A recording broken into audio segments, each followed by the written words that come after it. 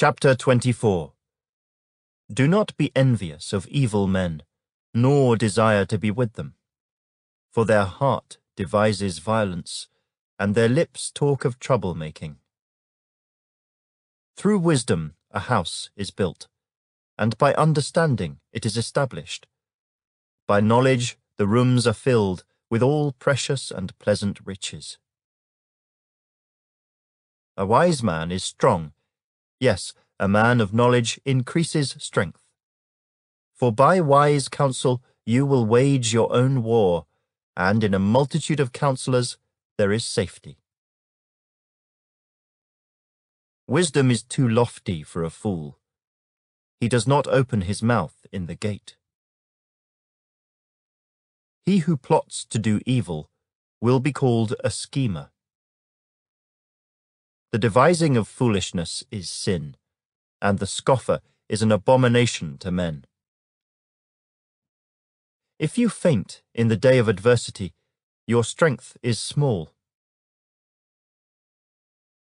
Deliver those who are drawn toward death, and hold back those stumbling to the slaughter. If you say, Surely we did not know this, does not he who weighs the hearts consider it. He who keeps your soul, does he not know it? And will he not render to each man according to his deeds?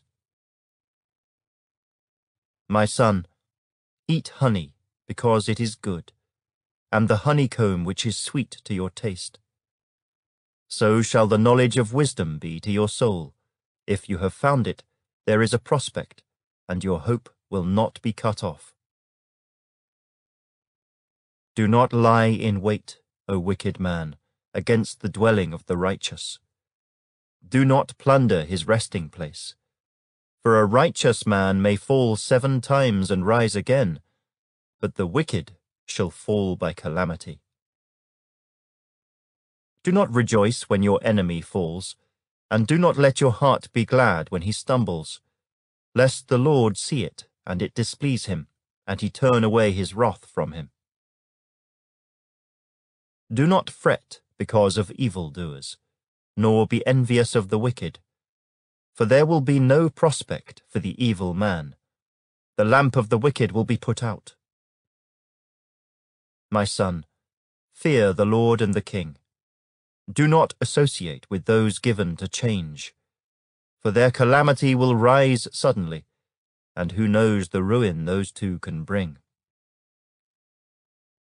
These things also belong to the wise.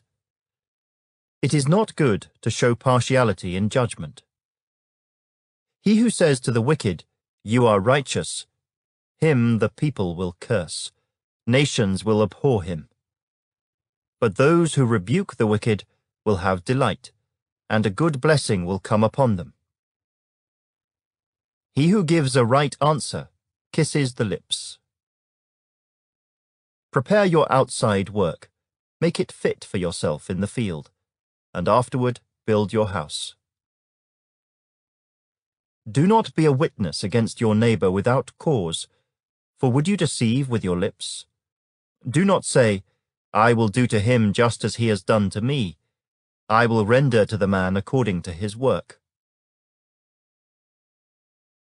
I went by the field of the lazy man and by the vineyard of the man devoid of understanding. And there it was, all overgrown with thorns. Its surface was covered with nettles, its stone wall was broken down. When I saw it, I considered it well. I looked on it, and received instruction. A little sleep, a little slumber, a little folding of the hands to rest.